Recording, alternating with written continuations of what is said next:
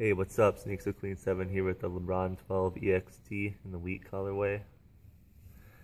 First things first, you'll notice the whole shoe is that like Timberland wheat color with that really, and it's got really nice nubuck on the whole upper. You got your metallic gold swoosh, metallic gold on the lace tips, and then on this little pyramid lace lock thing at the bottom. And you got your around the eyelets too. Got your LeBron sig on the tongue there. Flip it up. Got your old school LeBron logo.